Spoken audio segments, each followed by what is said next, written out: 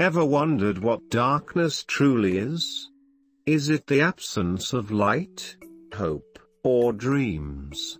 Or simply just an endless hole in the inner stream?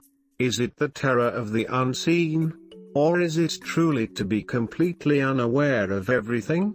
Your planned friends, family and kin. Their relentless efforts positive or negative or perhaps your own apparent nature to everyone on the street, one which you could never see? Or, is it that fear that creeps in? When you realize you've never truly been seen,